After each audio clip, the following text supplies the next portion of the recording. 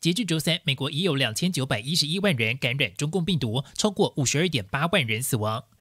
根据疾控中心的数据，截至周二上午，美国已经发放了一点二三亿剂中共病毒疫苗，共完成九千三百七十万剂的注射。美国政府将增购一亿剂强生公司的单剂疫苗。不过，白宫首席医疗顾问佛奇也表示，尽管疫苗加速普及，美国疫情仍有可能再次严重恶化。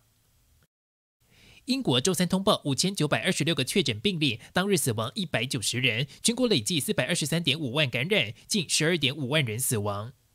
一项周三发表在英国医学杂志上的最新研究表明，源自英国的高传染性变种病毒致病性比以前的病毒株高出百分之三十到百分之百。法国周三新增病例超过三万，累计感染人数即将突破四百万，近九万人死亡。政府发言人阿塔尔表示，巴黎及周边地区的情况依然严峻，重症患者数量达到去年十一月份以来的最高值。为了给重症患者腾出空间，当地医院已取消了百分之四十的常规业务。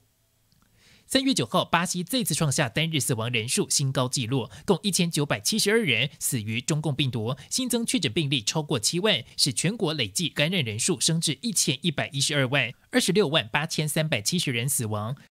数据显示，目前巴西最大的十五个城市中，重症监护室床位的占用率已经达到百分之九十，许多城市的医疗系统面临崩溃。韩国周日再添两宗接种疫苗后死亡案例及九百三十五起不良反应，七人情况严重，已累计出现十五个死亡案例。目前，韩国已有近四十四点七万人接种了第一剂阿斯利康或辉瑞疫苗，全国累计感染人数达到九点四万，一千六百四十八人死亡。新唐人记者乔安综合报道。